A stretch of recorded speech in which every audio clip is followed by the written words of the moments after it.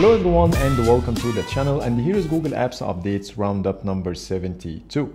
In this episode there are some exciting features that you need to know about so without further ado, let's jump in. So let's start the episode by talking about Google Photos and we got a new feature in the video editing that will allow you to add some effects to your videos. So here's one of the videos I have and when I tap on edit and then scroll through the tabs, you will find a brand new tab over here called effects. So now it's downloading the effects for me and you will see here tons of them and this is the first time to see this feature in Google Photos and I only got it on the Pixel 7 Pro running Android 14 Beta 3. I'm not sure if this is related or not, but here we have it. So here's the first effect called Dust Max. and you have another one and here's how it looks when you play the video. Here is a black and white film. Here is Lomo, light leak, which will add some effects as you see here, some lens flares added to the corners.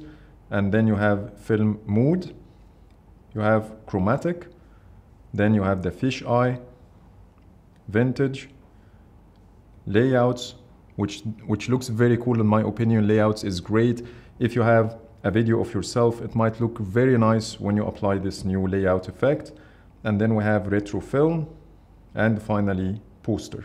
You will notice here that Poster adds this unfolded paper effect as if it was folded before and that also looks really cool. And by the way, I knew about this feature from Akshay Patil and I'm sorry if I'm pronouncing the name incorrectly, but he sent me a screenshot with the feature and I found it on my phone and that's why it's included in today's episode. So special thanks to Akshay and let's move on to the second feature. Change number two is in the media controls. Now when you play a video you will see three buttons instead of only one like before and for reference here is my Pixel 7a and you can only see the play and pause button but now we got two buttons extra, one to seek forward and one to seek backward. One final change in Google Photos that I also got in all other Google apps, when you tap on the profile menu, you will get a full screen view instead of only a floating card like before. And for reference, here is the 7A this is how it used to look like just a couple of days ago, but now all of a sudden I'm getting this full screen menu in all other Google apps. But by the way, this is only happening on the 7 Pro running Android 14, so I'm still not sure if it's related to it or not. And now let's talk about Google Messages. And the first change we have is the new badge that appears on top of that profile picture of any RCS conversation to let you know the difference between the RCS and normal text messages. And I have it on two conversations here in my list. Change number two, when you open the conversation, you will find that all the reactions you have will animate for the first few seconds and then stop. Change number three and the last one, when you use Google Messages on the web, now you can reply to individual messages by hovering your mouse over the bubble and you will see a reply button. When you click on it, it will show you the message on top of the text box and here's how it looks when you send the reply. Next, Gboard. And now when you type a new message, like this one for example, what about dinner tonight? And then put a question mark, you will notice here that the emoji kitchen suggestion will show up in the first spot and when you tap on it it will expand inline so you can choose the emoji or the sticker you want and you can tap the X to close it I think I used to have this feature a long time ago, but it has been removed and now it's back again. But I also noticed a lot more text styles showing in the Emoji Kitchen suggestions and in this case I wrote how are you today and I'm getting a lot more styles that I've never seen before so it seems like Google is actively updating this area. Next, Google Play Store. And we got a new feature called Sync Apps. This feature will allow you to automatically install apps on other devices signed in with the same Google account once you install them on this device. And this will save you from the hassle of installing the app multiple times on other devices manually, but it will happen automatically in the background. And for you to activate the feature, head over to the profile menu and choose Manage Apps and Device. And you will find a new option over here called Sync Apps to Devices. And here it will show you the full list of apps signed into the same Google account so you can choose whatever you want. But what I like the most about this feature is the ability to choose between one-way or two-way syncing. So for example, if I want this device to be the only one to install apps on other devices, I can activate the feature here and keep it deactivated on other devices. But if I want two-way syncing with a specific device, I can activate it here and on the other device and that means both devices will synchronize with each other and I think that will give you a lot more flexibility. And now let's talk about Google Home. If you are using a Pixel phone and then go to the home tile, you will see a completely redesigned page that matches exactly the home page of the Google Home app instead of the old design. So here is my Pixel 7 Pro that didn't get this new change and you can see a totally different page. Here you can uh, remove or edit controls while here you can do everything from the same page without the need to go to a separate menu. So it works exactly the same as the app itself. It will first show you all the groups you have in a carousel that you can scroll through horizontally if you have multiple ones and then all your favorites are grouped together. And then from here you can reorder by dragging the tiles over. And once you're happy with the change tap on save. And you can also edit by removing or adding more controls if you want. And I also found that when you go to any group like in my case here I have a group contains three lights and here I have individual controls for each light or I can control all of them together using the switch over here or the quick shortcuts for the colors. And the second change in Google Home is the ability to add your light groups to the favorites. So for example uh, before this change the light groups were not included in this menu so there is no way to add them. But now thankfully you can add any group to your favorites list and that's when they will appear on the home page of the Google Home app and also in the device menu. And now let's talk about YouTube. And the first change is in the captions. If you take a look closely, you will find that the captions are now using a translucent background instead of the dark black. They have more rounded corners and the font looks nicer as well, so the overall experience in the captions is much better. Change number two is the ability to create shorts with comments from a specific video. So let me show you an example. So I'm gonna open this one and then expand the comments section. And if I like this comment, I can tap on the reply button and then I will have a shorts button over here. Tapping on it will take this comment and put it in a floating card and then I can record my short with this comment already included. Change number three and the last one, when you scroll through your home feed, you might see a card like this one telling you can't decide what to watch and it has a play something button. When you tap on this button, it will play a random video and this video will play in this form as if it's a short, even though this video is 16 minutes and 35 seconds. So I'm not sure why it's playing in this format, but I tried to reproduce the same thing from the home feed and I couldn't.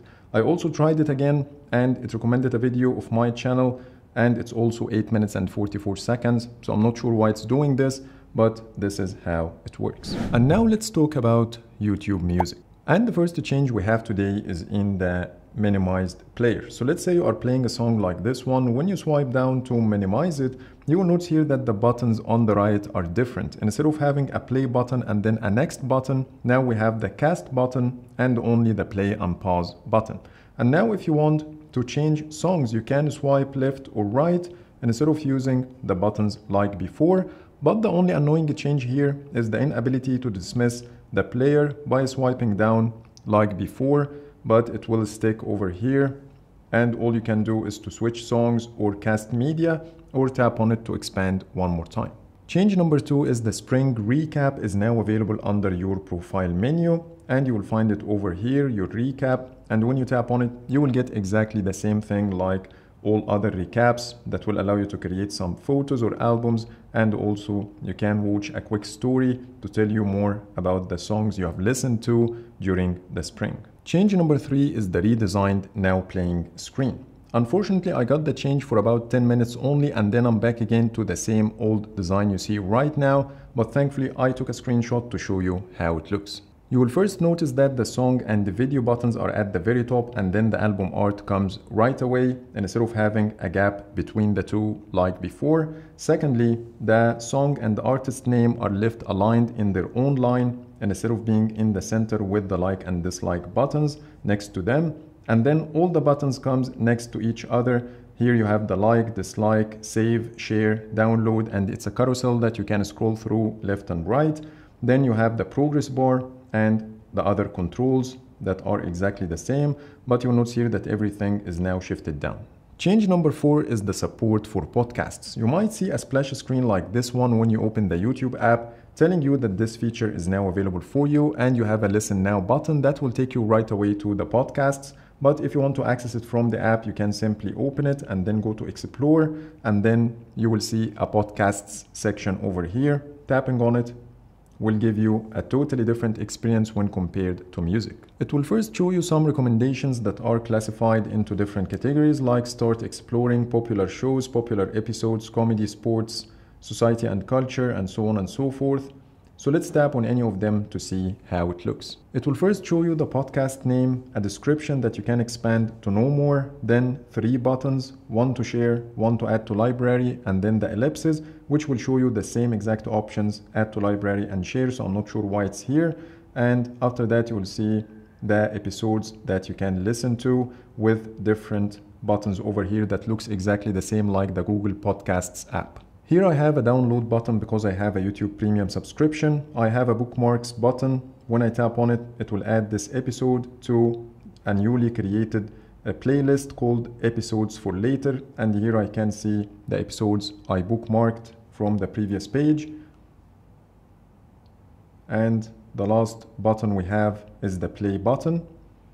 You will also see here how many minutes left and the date written on the left and when you go to the now playing screen, you will also get a slightly different experience over here. So let's go to the now playing and you will see that the playback speed has a shortcut next to the media controls.